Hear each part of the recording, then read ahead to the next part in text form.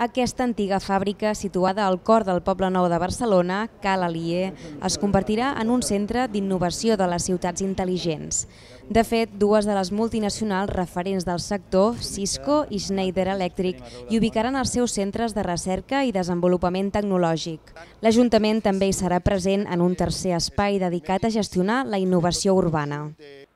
Avui donem un pas més amb la creació d'aquest centre d'excel·lència. És el primer que tindrem a tot el món i estarà dedicat exclusivament a les solucions de ciutats intel·ligents amb la vocació de ser global. L'elecció de Barcelona respon al seu compromís i lideratge amb la innovació i a la seva voluntat de compartir aquestes innovacions amb altres ciutats reforçant-se com a referent mundial en solucions i serveis per ciutats intel·ligents. El nou Cal Alier serà la primera peça de l'Smart City Campus, una iniciativa municipal que pretén regenerar la zona nord del 22 arroba en un nou teixit de coneixement i innovació.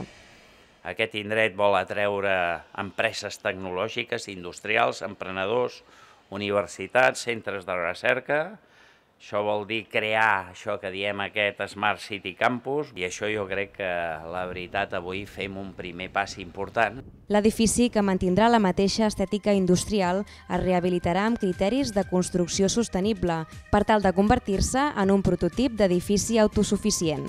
Està previst que el nou centre entri en funcionament a l'estiu del 2016 i que doni feina a 160 persones de manera directa.